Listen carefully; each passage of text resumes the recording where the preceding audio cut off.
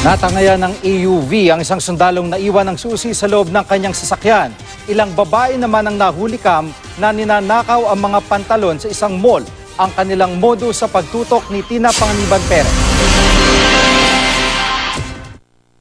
Sa kuhang ito sa isang mall sa Cebu, makikita ang babaeng pasimpleng dinukot ang ilang pantalon sa rack.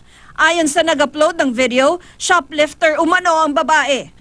Palakad-lakad naman sa tindahan ng isa pang babaeng naka-pink na ayon sa uploader, shoplifter din. Ilang sandali pa, isa pang babae ang sumipat sa mga pantalon sa parehong rack. Kunwari, namimili siya ng bibilin. Pero nang makatsyempo, kinuha niya ang ilang pantalon, sabay itinago sa telang hawak niya. Saka umalis kasama ang babaeng naka-pink. Di pa nakontento, bumalik pa ang mga suspect at halos sinubos na ang dalawang stock ng pantalon.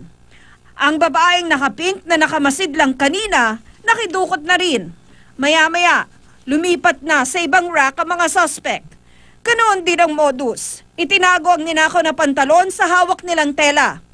Para hindi halata, isa sa mga suspect ang nagkunwaring bibili ng damit at nagtanong pa sa sales lady. Ayon sa uploader, mahigit apat na pantalon ang nakuha ng mga suspect. Inaalam pa kung sino sila. Muntik namang matangayan ng sasakyan ng isang sundalo sa Pagadian City. Sa CCTV, makikita si Lieutenant Colonel Freddy Europa na nagpark ng AUV sa tapat ng tindahan. Pagpasok ng biktima para bumili, makikita ang suspect na patingin-tingin. Nang makatsyempo, pumasok ang suspect sa sasakyan. Napaandar niya ito dahil naiwan ng biktima ang susi. Buti na lang, napansin ito agad ng biktima.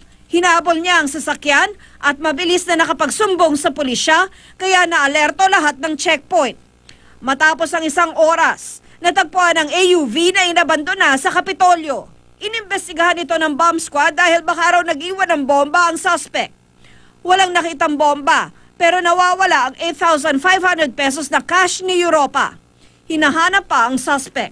Tina Panganiban Perez, nakatutok, 24 oras.